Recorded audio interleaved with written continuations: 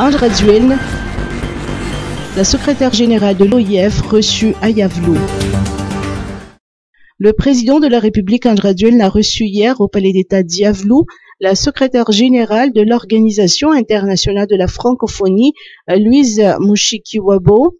Les deux personnalités ont passé en revue les projets de coopération entre l'OIF et Madagascar portant sur le rayonnement de la langue française, la promotion du numérique, la lutte contre le changement climatique et l'éducation. La secrétaire générale de l'OIF a exprimé le souhait d'intensifier la mise en œuvre des projets de l'OIF en faveur de l'autonomisation des femmes en milieu rural par le biais de l'entrepreneuriat. Par la même occasion, le chef de l'État malgache au prochain sommet de la francophonie qui se tiendra les 19 et 20 novembre prochains en Tunisie. Écoutons ses propos. Cette audience avec le président de la République est une audience euh, pendant laquelle nous avons passé en revue euh, l'action euh, de l'EIF à, Madagascar, notamment des actions de coopération.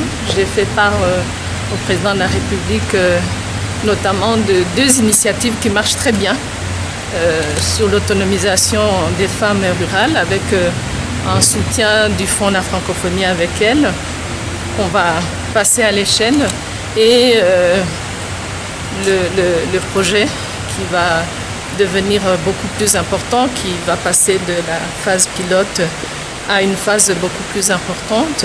Sur l'octroi des actes d'état civil nous avons également parlé euh, de, ce qui se passe dans le monde aujourd'hui, des grands rendez-vous mondiaux, euh, du sommet de la francophonie euh, auquel le président de la République prendra part, qui se tiendra les 19 et 20 novembre en Tunisie.